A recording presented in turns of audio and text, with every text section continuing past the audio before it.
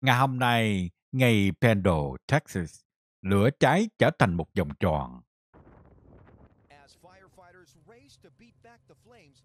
Trong lúc này, chữa lửa đang cố gắng để chữa cháy.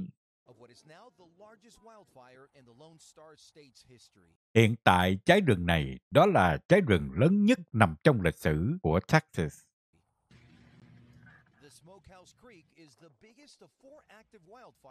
Smokehouse Creek cháy lớn nhất, một trong bốn chỗ cháy trong lúc này. Đang cháy lan rộng ở tiểu bang. Cháy hơn một triệu mẫu đất.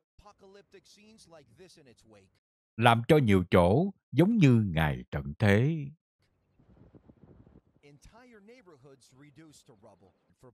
Nguyên cái khu nhà cháy rụi hết. Nhà của ông này sẽ không còn giống như trước nữa. Ngọn lửa này đã giết chết người má của ông ta.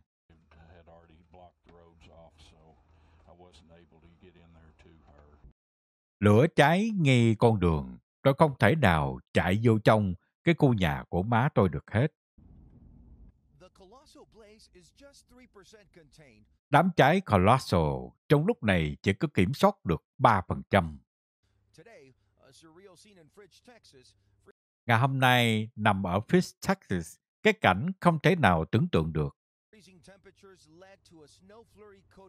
Trời xuống độ, tiết rơi. Tiết rơi lên những cái choa nhà cháy rụi. Tiết giúp đỡ trong một phần, nhưng mà chữa lửa hiện tại cũng đang cố gắng dập tắt những chỗ đang bị ngấm cháy. Có lẽ là nhiệt độ này nó sẽ không nằm như vậy lâu dài. Hiện tại Texas đang bị khô khan. Rồi gió rất là mạnh xảy ra. Chỗ này đó là cái studio hồi lúc trước tôi giả hình. Đối với bà Melody có lẽ là quá trễ ở ngay cái nhà của bà. Nhà của bà đã bị cháy mất không còn nữa. Cái bây giờ bà đang lo cho cái hotel đang kiểm soát. Tôi nhìn cái nhà của tôi, tôi nói lời tạm biệt. Và cảm ơn. Tôi biết rõ là tôi không có trở về nhà nữa. Cho tới khi lửa được dập tắt, cái hotel chỗ này đang chứa chữa lửa và những người di tản. Trong lúc này, lửa đang cháy tới nhiều cánh đồng.